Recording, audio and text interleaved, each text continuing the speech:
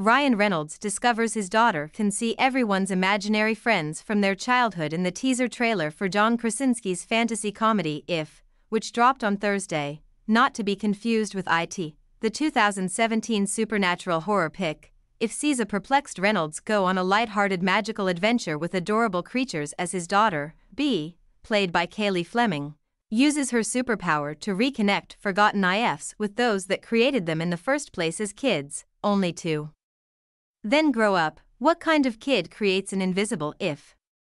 Reynolds questions at one point in the trailer as he forms an unlikely bond with B over her imaginary creatures hatched by childhood minds. In the end, if promises viewers they may find the inner kid in all of us as you have to believe to see becomes the tagline for the Paramount pick set to hit theaters on May 17, 2024.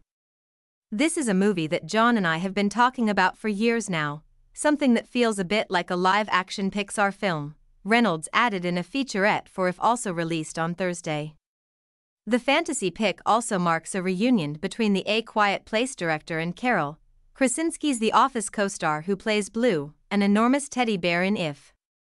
The IFs are also voiced by Matt Damon, Jon Stewart, Phoebe Waller Bridge, Emily Blunt, Maya Rudolph, Sam Rockwell, Louis Gossett Jr., Sebastian Maniscalco. Chris Meloni, Richard Jenkins, and Awkwafina.